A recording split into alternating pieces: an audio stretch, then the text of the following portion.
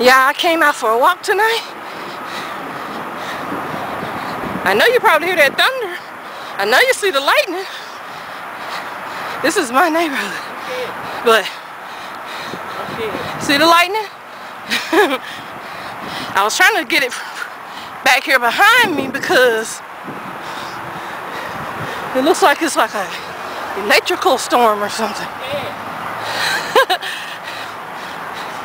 And Bree talking about she's scared, so we're just gonna walk one time around the block and then go back. But next time I record, it'll be in the daylight so y'all can see.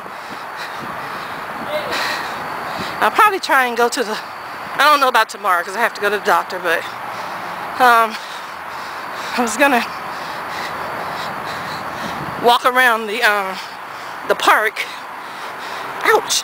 I don't know if the ducks are out this time of year or not.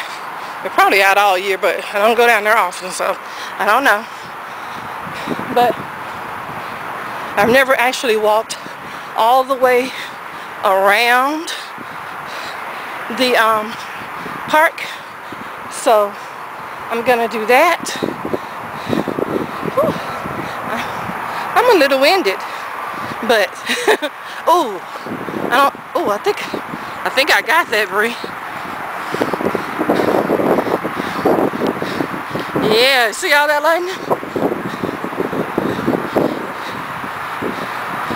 Ooh, yeah, I know y'all saw that. Oh, here. I know y'all saw that. But it is so cool. It feels so good out here. I live close to the freeway, you see? I know you probably hear all those cars. But I'm walking up close to the freeway because there's more areas to walk. Probably can see the cars going by. and I know you can see it lightning. It's getting more and more intense. So we're just gonna woo, we're just gonna walk around the block. And then go back home because it's getting